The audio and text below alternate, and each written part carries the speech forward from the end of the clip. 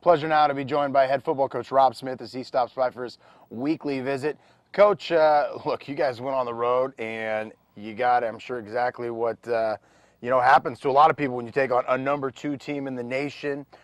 Tough environment to play in Ellensburg, and uh, you know, as I reflect on that game, I don't know about you, but I sit there and go, man, that was a really good team, and the way the Jacks finished. Look, I know you're not going to be too happy about a 38 to seven, but things could have been a lot worse.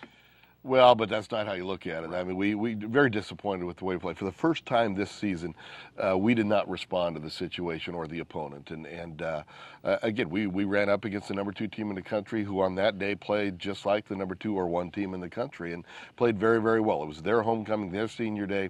They were highly motivated, and for whatever reason, uh, we came out and and and uh, I don't want to say we were flat. We just didn't make plays early when we needed to, and boy, you give a team like Central Washington that type of momentum, uh, and I've played over there, you know, taking teams over to Ellensburg many, many times. Uh, it is tough when, when that crowd gets into it. We allowed that to happen in that first half, and, and it was hang on time. So we got beat by a better football team. You give Central Washington credit. I, I you know, for our players, it's it's a uh, a good learning experience of where we need to get to as a football team, football program. I believe we will, but we have work to do. Now, eight games you've played this year, seven of them um, you've either won or been right there to the very end. This one was not the case. Uh, I mean, you see it from every team. Ones that go undefeated, ones that don't win a game. Uh, really hard to be up for every game. Do you think that you're just it's almost impossible to be up for 10 games and maybe this was your one and hopefully only one? You know, that's a great question, JB. It's difficult, certainly. You, you look at Cal going up to Oregon a few weeks ago and just getting hammered, you know, 50, uh, yeah. you know, and it does happen in this game. And I, coaches will sit there and, and, and dissect it every which way. But, uh, you know, we felt we were prepared. Uh, we just you know, give credit to Central Washington. They, you know, they had two games uh, that were close and, and uh, they're a senior dominated team. It was their senior. They, they introduced 23 players, 15 of whom were starting. Uh, you know, they're they're where they're at for a reason. And and uh, we had chances early to, to, to make some things, but when you don't stop a team on third down, I think they were six of six to start off, or you don't convert third downs yourselves, and we were uh, 0 for 3 early on the, the game has a, has a chance then to get out of hand, and it certainly did quickly. You know, we, we had our chances. We had a tip ball early in the game. I think their first possession that lands at the feet of our safety, and if our safety could be one step quicker, get that, he's going to go back the other way. Who knows how it will go? But uh, again, we found a situation there in the first half where we, we were playing a very good opponent who came out, was executing extremely well. They found some things early on that they could do to, to, to hurt us, and, and once that crowd got behind it, once that team, uh, good teams with momentum, momentum are tough to beat. I know it's still uh, we're still a little over a week away before you make your final home game, but Tomlinson Stadium, outside of the win, because we don't ever want to deal with that here. Uh, they got a large crowd for a small place, but it's just a difficult place to play. What kind of things can you do here? Um, do you think to make the Redwood Bowl as difficult to play that you could uh, utilize from a place like that? Well, the first thing you, you, you do is you, you fill it up.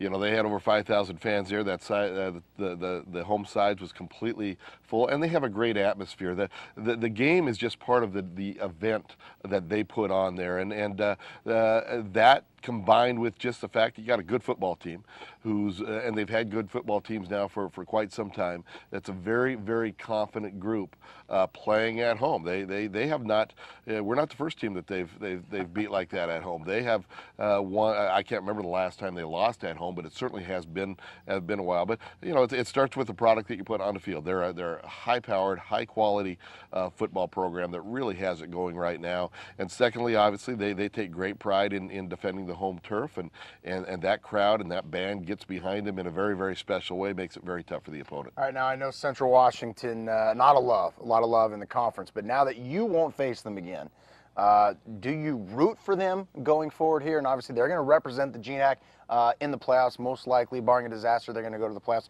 Or is it uh, let's good riddance be gone, gone with these guys? No, absolutely, you root for them. They they now will carry the conference flag, and and uh, uh, I, whoever the conference representative that moves into the national playoffs, you'd really like to see that team perform well because it's going to then shine a bright light on everyone in the conference. And and uh, so you know, there's still two games to go, and this could change. But let's assume that Central does win out. they've got Dixie State, I think, and and uh, Western Oregon their final two games. Let's assume they win out and are undefeated. That means they'll host uh, through the, the playoffs because they are the first round, uh, the, the, number one team, I should say, out of the West region right now. And uh, again, any team that goes to Tomlinson, any team that has to go to Ellensburg is going to have their hands full. And, and, certainly the, the experience that Central gained a year ago being in the national playoffs, losing a disappointing game in the first round to West Texas should help them as well. So absolutely, we, we uh, uh, will we'll, support Central Washington as, as difficult as that may be.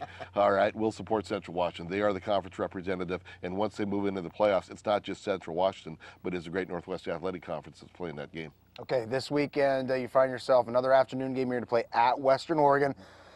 The ultimate heartbreaker of the year. You lose at home by a point to this team what do you need to do and how are you looking forward to going up to Western and get another crack at this absolutely, team? Absolutely, Just, you know, as much as we've improved as a football team and, and, and we clearly have, we've yet to win a conference game. Mm. And, and and that's something that we're going to we're going to set our sights on right uh, start, starting now that we have got to, you know, we got to get back on our feet as a football team and we've got to get ready to go play a Western Oregon team that that uh, uh, could have and should have beat Central Washington the week before in Seattle, led 21-0 at halftime, lost on a last-second field goal uh, to, to, Central, and, and uh, then this past week Western Oregon went down and, and, beat Azusa Pacific handily. So you bet we have got to get our players back on our feet, realize that there's so much out there still to play for, and uh, uh we you know we're four and four right now. So we've got to get ready to, to play a good Western Oregon team. Again, make another road trip up up to Monmouth.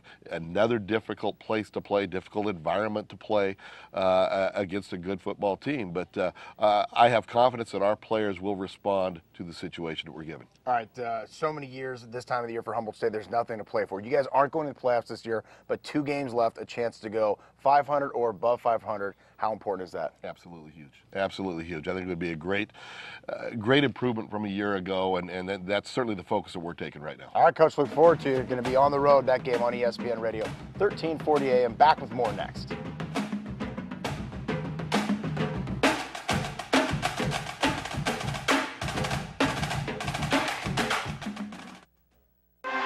Three wides to the right side, one to the left. What does greatness taste like? Steps up, heaves the ball. Step up and order a Miller Lite aluminum pint with a wide opening to deliver that true Pilsner taste. Down into the end zone. It's going to be a tip ball. He got it!